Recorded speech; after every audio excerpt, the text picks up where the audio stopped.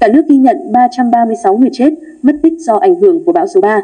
Bão số 3 và mưa lũ sau bão đã gây thiệt hại to lớn cho khu vực Bắc Bộ. Theo Cục Quản lý Đê điều và Phòng chống thiên tai, Bộ Nông nghiệp và Phát triển Nông thôn, tính đến 17 giờ ngày 13 tháng 9 năm 2024, cả nước ghi nhận 336 người chết, mất tích do ảnh hưởng của cơn bão số 3.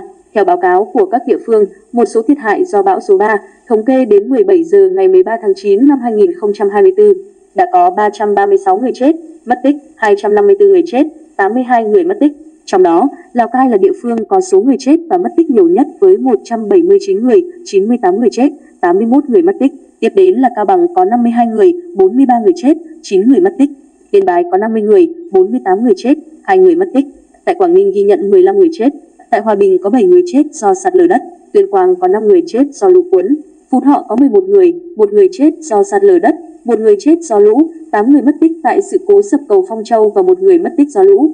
Mưa bão, sạt lở đất cũng làm 823 người bị thương, nhiều nhất ở Quảng Ninh với 536 người, Hải Phòng 49, Hà Nội 23, Bắc Ninh 52, Lào Cai 76, Yên Bái 30, Cao Bằng 17.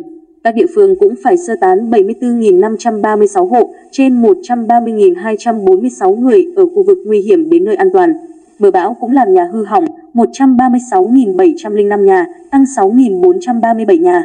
Trong đó, Quảng Ninh 70.629, Hải Phòng 40.005, Bắc Ninh 3.472, Lạng Sơn 2.990, Bắc Giang 3.289, Yên Bái 1.378. Nhiều cửa hàng, trụ sở, trường học bị tốc mái, hư hỏng, rất nhiều biển hiệu quảng cáo, cột viễn thông, trạm phát sóng di động bị gãy đổ, cây xanh đô thị bị thiệt hại.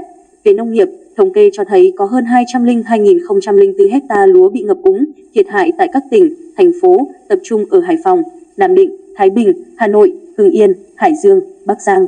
Ngoài ra, có hơn 39.000 hecta hoa màu bị ngập úng, gần 22.290 hecta cây ăn quả bị hư hại, gần 1.850 lồng bè nuôi trồng thủy sản bị hư hỏng, cuốn trôi, gần 4.600 con gia súc, gần 1,8 triệu con gia cầm bị chết. Thiệt hại về thiên tai tại các tỉnh miền Bắc là rất lớn. Hiện nay, cùng với chính phủ, các cơ quan, tổ chức trên cả nước đang có các hoạt động kêu gọi ủng hộ từ thiện gửi đến người dân các địa phương bị thiệt hại do bão, lũ và sạt lở đất.